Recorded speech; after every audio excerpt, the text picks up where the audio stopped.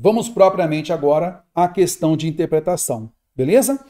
Ao comparar a vacina contra diferentes cepas dos vírus da gripe ao Santo Graal, o professor Jonathan Ball quis dizer que. Então vamos ler agora o texto com calma? Olha só. Por que as lhamas podem guardar o segredo para combater a gripe? Cientistas americanos recrutaram uma curiosa aliada para desenvolver tratamentos contra a gripe, a lhama. O sangue desse animal sul-americano foi utilizado para produzir uma nova terapia com anticorpos que têm o potencial de combater todos os tipos de gripe. A gripe é uma das doenças mais hábeis na hora de mudar de forma. Constantemente modifica sua aparência para despistar nosso sistema imunológico isso explica por que, as, por que as vacinas nem sempre são efetivas e a cada inverno é necessário receber uma nova injeção para prevenir a doença. Por isso, a ciência está à procura de uma forma de acabar com todos os tipos de gripe, não importando de qual cepa provém ou quanto possa sofrer mutações. É aí que entra a lhama. Esses animais nativos dos Andes têm anticorpos incrivelmente pequenos em comparação com os dos humanos. Com os dos humanos. Os anticorpos são as armas do sistema imunológico e aderem às proteínas que sobressaem na superfície dos vírus. Os anticorpos humanos tendem a, acatar, a atacar as pontas dessas proteínas, mas essa é a parte em que o vírus da gripe muda com rapidez. Já os anticorpos da lhama, com seu tamanho diminuto, conseguem atacar as partes dos vírus da gripe que não sofrem mutação. Já mudei aqui, né? Os conectivos, já inseri aí, tá?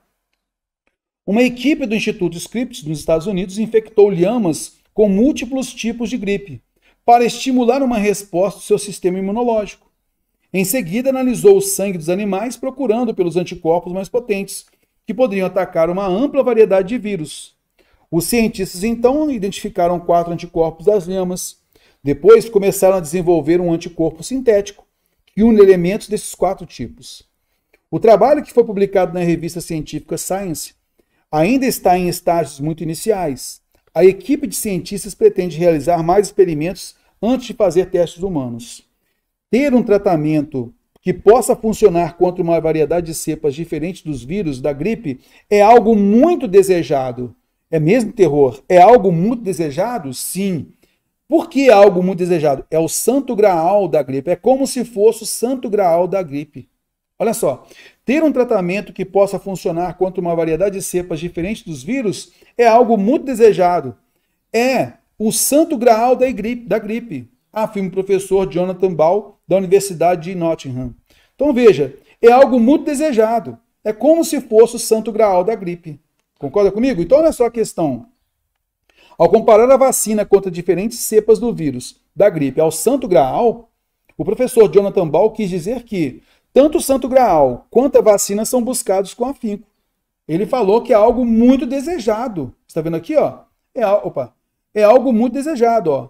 É algo muito desejado. Desejamos com afinco. É o santo graal da gripe. Então, alternativa A. Tanto o santo graal quanto a vacina são buscados com afinco. Tá legal? São muito buscados. É, são, é algo muito desejado. A descoberta da vacina do Santo Graal cabe a pessoas com aptidões especiais, por isso teve relação com o Santo Graal? Não. O Santo Graal e a vacina têm o sangue como elemento em comum, não é esta relação que o texto traz. Tanto o Santo Graal como a imunização pelas vacinas são lendas, tanto a vacina quanto o Santo Graal apresentam-se em mais de uma forma. Então você vê que é uma interpretação literal, né? Ele fala aqui, ó, é, é algo muito desejado, há um desejo com afinco, é o Santo Graal da equipe, da gripe, beleza? Por isso, alternativa A